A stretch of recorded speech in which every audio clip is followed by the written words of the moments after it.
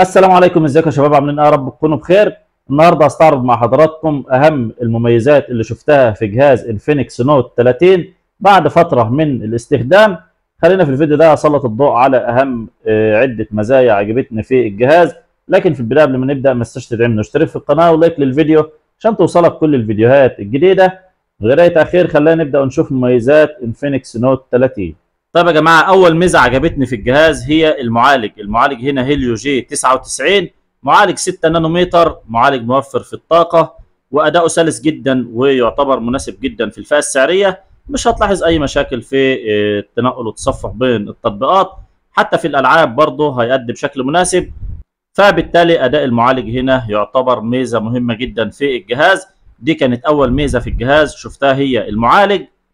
تاني ميزة موجودة هنا في الجهاز هي مساحة التخزين. عندنا 8 جيجا RAM و256 جيجا ذاكرة تخزين تعتبر ميزة مهمة جدا في هذه الفئة السعرية. وعندنا كمان الرامات بتقدر تزودها لحد 16 جيجا.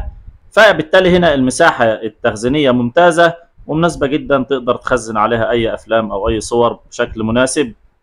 ثالث ميزة برضو عجبتني في الجهاز هي السماعات الاستيريو. الجهاز بيجي بسماعات استيريو وبدعم من شركة JBL. فتجربة الصوت هنا كانت ممتازة على الجهاز ودي كانت ثالث ميزة معانا على ال Infinix Note 30 ثالث ميزة في الجهاز هي الشاشة. طبعا الشاشة هنا IPS لكن جودتها ممتازة جدا وسطوع الشاشة يعتبر مناسب. سطوع الشاشة مقبول جدا في الفئة السعرية.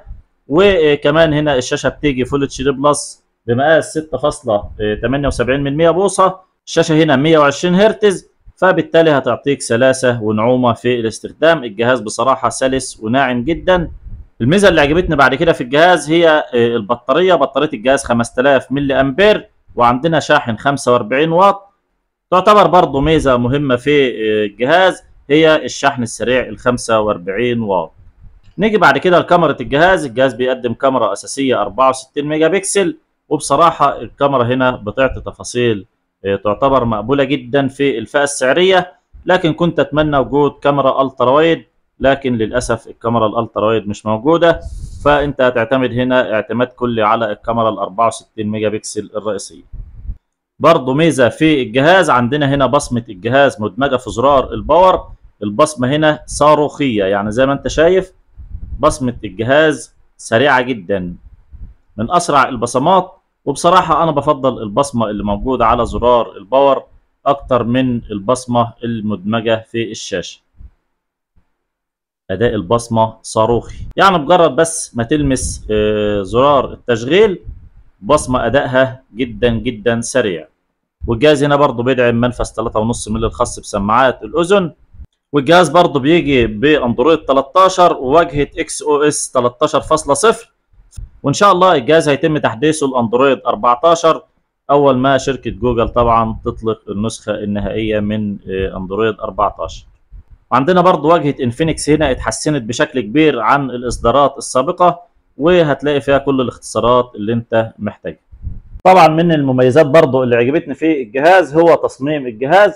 عندنا إطار الجهاز هنا بيجي من البلاستيك لكن ظهر الجهاز بيجي من الزجاج وتصميم الجهاز في لمعة خفيفة كده في الجزء الخاص بالكاميرات.